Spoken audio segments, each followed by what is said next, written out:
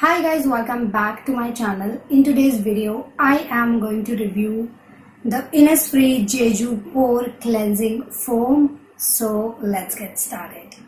It is priced at rupees 650 for 150 ml of the quantity. It comes in this squeezy tube packaging with this flip top cap.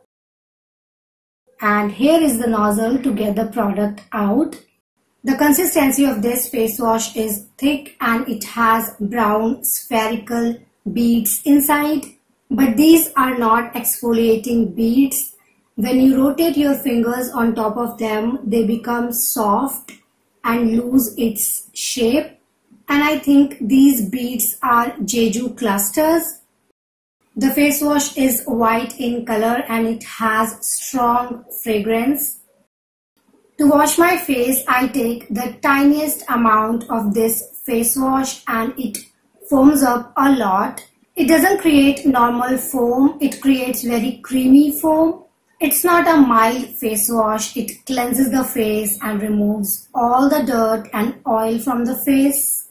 If you are someone who wears makeup and you want a face wash that you can use after removing your makeup, then this is a really nice option to go for. Now let's quickly talk about its ingredient list.